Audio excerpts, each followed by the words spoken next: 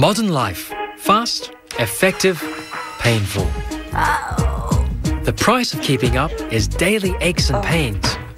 Do we take this lying down or consider the options? Some say traditional and alternative medicines hold promise, even if treatments are a little unconventional. Are they answers to our pain? Join me, Derek Sue, medical doctor and guinea pig in Find Me a Cure. This week, lethargy versus osteopathy, traditional Chinese, and Ayurvedic medicines. You know the drill. Get up, wash, breakfast, leave the house, go to work, coffee, check emails, send emails, do some work, type reports, go for meeting, coffee, check emails, send emails, serve, talk, meet, report. Lunch. Queue, order, find seat, eat, drink, back to work, check, send emails, report, meet, talk, call, and by tea time, you start to slow down. Hi, Dr. Derek Sue here. Are you finding it difficult to keep up with the world around you?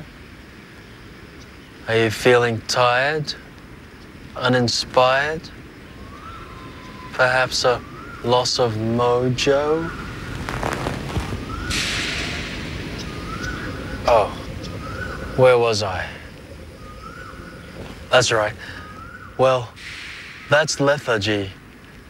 And according to Western science, that's an indication of a range of problems, both small and large.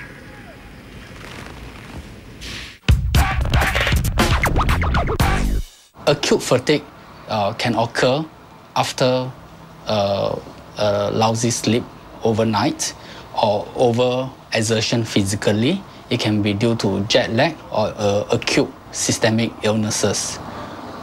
However, acute fatigue most of the time will recover once the underlying cause settled out. In medical terminology, acute means fast or sudden. It comes and goes quickly, like the life you lead on the fast lane. A wild night, then you get this kind of syndrome. Probably after lunch, I would feel a little bit more sleepy. After lunch, usually metabolism slows down a little bit and I get a little bit more tired and groggy. If your lunch is too heavy, then normally you feel very tired. The more you eat, the more sleepy you get. You just got to endure and finish off whatever that you're doing. Go back and sleep more. Yeah, and do some exercise um, occasionally. Yeah. Coffee. Coffee.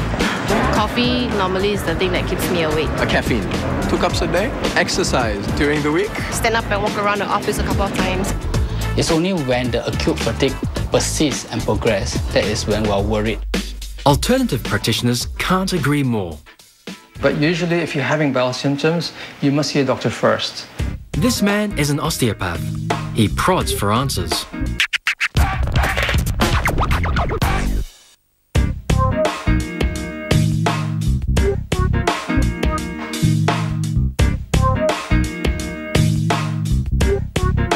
Looking at your life in a more holistic way and trying to balance it wherever you can. The body belongs to DJ, our lethargy candidate.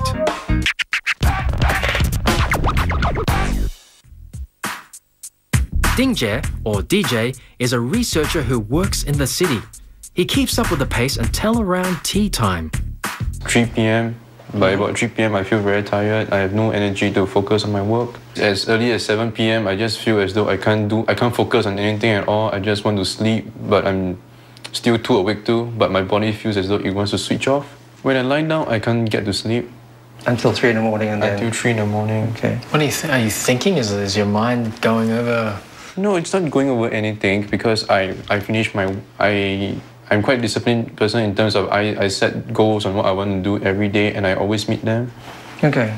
Are you any more stressed recently than usual? Yes, I've had more work to do recently, more reports to write, and more things to check on for my work. Jose's heard the same story before. His clinic is in the district of Overdrive. They're running themselves into a point where the nervous system, like the brain basically, is on hyperdrive. Hmm. Okay, you're